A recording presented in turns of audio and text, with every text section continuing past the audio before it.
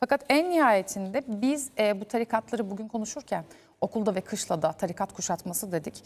Şimdi e, şöyle bir özet geçeyim size. Üniversite sınavını kazanan öğrenciler biliyorsunuz yurt bulmakta sorun yaşıyorlar. Yurt bulamayınca onlar bir şekilde gençler tarikat yurtlarına gitmek zorunda kalıyorlar. Ve maalesef ki oradaki gençlerden kötü haberleri size e, aktardık.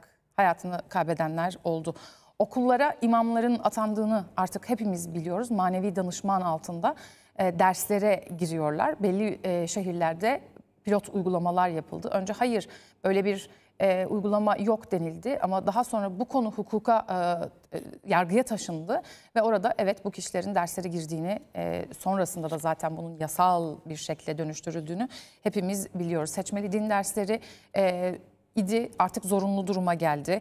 E, ilk, ilk öğretim kurumlarında e, mescitler e, zorunlu duruma geldi ve hatta e, anaokullarında bile bunların yapıldığını e, biliyoruz. Şimdi öğretmenlere din eğitiminden söz edildiğini biliyoruz. Az önce Sayın Ülgen bizimle paylaştı. Dedi ki e, yargıda da hani böyle bir eğitimin alınması zorunlu hale getirildi. Dolayısıyla bu hani biz bugün e, evet Milli Eğitim Bakanı'nın bu açıklamasını konuşuyoruz, soruyoruz.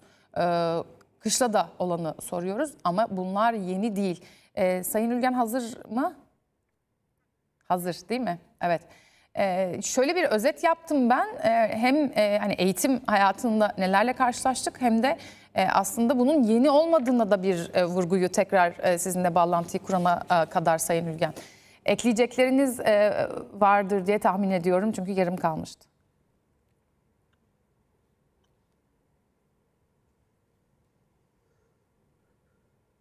Evet, e, anlatmaya çalışıyorum. Evet.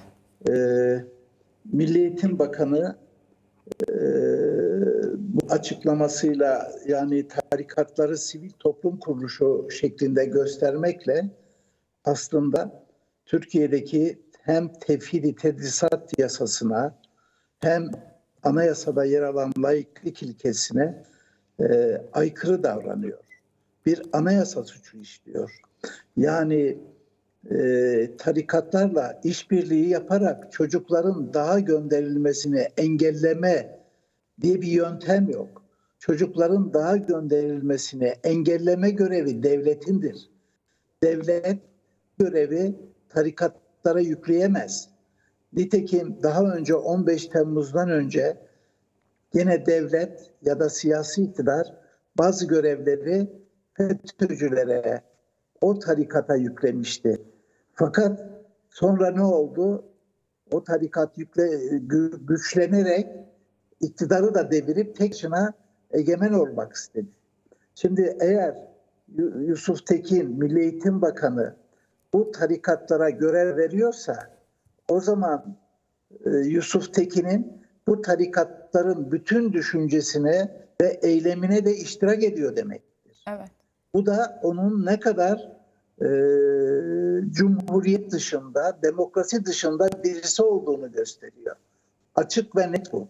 Yani e, ben e, üzülerek söylüyorum, bu konu Türkiye'de kamuoyu tarafından yeterince tepki gösterilmedi. Asıl tepki okullardaki velilerin göstermesi lazım. Yani Türkiye'de çağdaş ve aklın özgür olduğu, kişinin kendisini, çevresini, iktidarı, okul müdürünü, ailesini sorgulayacak bir eğitim yerine körü körüne itaat edecek bir eğitim gösterilmesi demokrasiye de cumhuriyete de ihanettir. Bu ihanet karşısında suskun kalmak doğru değildir. Bunu açık olarak Evet. belirtmek istiyorum. Celal Bey şimdi siz az önce anayasaya da aykırı dediniz. Biz e, e, sivil toplum kuruluşlarıyla konuştuk. Kademle konuştuk Evet. mesela eğitim konusunda.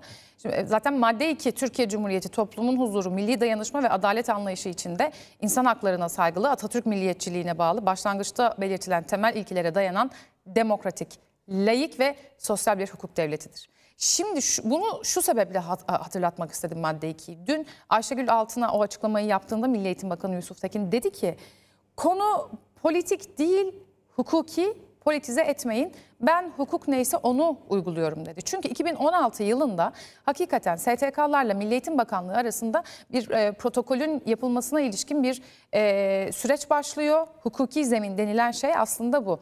Ama şimdi bu hukuki zemin ne dayandırılıyor Hayır. ya bakan tarafından. E, sizden düzeltmeyi de alayım. Şunu sormak istiyorum aslında özetle. Hayır. E, yani bahsettiğimiz bu hukuk zemini de bu dönemde yaratıldı ya. Hani buna sırtını e, yaslayan bir iktidar karşımızda iken e, bir işte yanlış gidiyorsa alternatifine ne yapabiliriz? Evet. Şimdi bir defa hukuki değil. Yani bunu öğrenmesi lazım. Hukuki değil. Ee, bir sözleşme ve sözleşmeye bağlılık hukuki olmaz. Ortada yasa ve anayasa hükümleri dururken normlar hiyerarşisi karşısında bir sözleşmeye bağlı davranmak hukuka uygun davranmak demek değildir. Bunu öğrenmesi gerekir ama öğrenmiyorsa halkın ve ailelerin, bizlerin, aydınların, üniversitelerin, baroların bunu öğretmek için çaba göstermesi gerekir. Ama şunu söyleyeyim, e, Milli Eğitim Bakanı görevde durduğu sürece tepkileri üstüne çekecektir.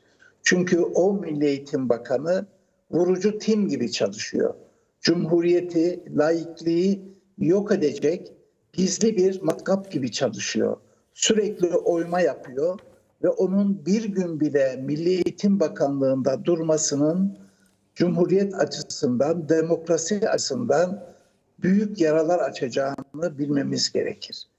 Bu nedenle Özgür Özel de haklı olarak Evet. Cumhurbaşkanı'na onu görevden al e, diye çağrı yaptı. Ben buradan başlatıyorum. Bu Milli Eğitim Bakanı'yla bir saniye bile daha idare edemeyiz. Bu Milli Eğitim Bakanı görevden derhal istifa etmeli ya da bu konuda Cumhurbaşkanı görevi devralmalı. Bu Milli Eğitim Bakanı belli ki çok özel bir görevle oraya getirilmiş. Dikkat ederseniz bir taraftan çocukların e, özellikle öğlen yemeklerini kaldırdı. Bir taraftan da işte tarikatlarla işbirliğini devreye sokarak sanki tarikatlar işbirliği yaptığında çocukların daha çıkması engelleniyor, engelleniyormuş. Çocukları dağa çıkan bölge Güneydoğu Anadolu'dur. Ama sen İzmir'de yapıyorsun bunu. İstanbul'da yapıyorsun, Bir Manisa'da şunu- yapıyorsun. Evet bir de şunu sormak istiyorum Celal Bey izninizle 10 tarikat e, yani 10 STK bakanın söylemesiyle e, topu topu dedi. Ya şimdi bir defa hangi tarikatlardan bahsediyoruz? Hangi e, işbirlikleri yapılmış? Ne olmuş? Hangi kentlerde? Kaç öğrenci? Bugün Çiğdem Toker de çok güzel bir şekilde yazmış. Bunu şu sebeple soruyorum. Çünkü e, en nihayetinde bizi izleyen veliler, anne babalar e, çocuklarını devlet okullarına gönderdiklerinde orada neyle karşı karşıya olduklarını bilmek zorundalar. Burada velilerin hakkı hukuku ne? Bu ülkede eğitim gören öğrencilerin, çocukların hakkı hukuku ne? E, bu e, bu, bu açıklamaları yapan defa- bakan olunca nasıl haklarını arayacaklar ve öğrenecekler sorusu akla geliyor. Evet. Bir defa e, şu bir gerçek. E, öğrencilerin ve velilerin mevcut yasalara göre laiklik ilkesine uygun bir eğitim hakkı var. Bunun bertaraf edilmesi mümkün değil. E, ama tarikatı özellikle STK gibi göstererek ve yanlış tanımlayarak adeta e, onları sütten çıkmış ak kaşık gibi göstermeleri bir takım gerçekleri gizleyemez. Bakın 3 yaşındaki çocukla nikah yapan bu tarikatlardır. Çocuklara cinsel istismarda bulunan bu tarikatlardır. Yani bu tarikatlarla siz nereye ve ne kadar yol alabilirsiniz? Sırtını tarikatlara dayanmış bir siyasi iktidarın ömrü uzun olmaz. Bunu açık olarak söyleyelim. Bu AKP'nin bugüne kadar yaptığı en büyük stratejik hatadır. Ve bu hata karşısında bizim halkımızın dilini yutmuş insanlar gibi davranmasına da oldukça içerliyor. Yani seslerimizi yükselteceğiz. Cumhuriyete sahip çıkacağız. Özellikle gençler, özellikle aydınlar bu konuda suskun kalmamalı. Ben insanlara isyan edin demiyorum. Ama susmayın ve tepkilerinizi dile getirin. Bu konuda ne kadar tepki dile getirirseniz iktidar o kadar geri adım atacaktır. Evet. Bu aslında insanların anayasal hakkıdır bu direniş hakkı. Anayasal haklarını kullanmasını istiyorum. Evet. Ba- Başka bir şey değil. Çok teşekkürler yayına katıldığınız için Celal Ülgen. Sağ olunuz. Ben de teşekkür ediyorum Hanım. Sağ olun. E,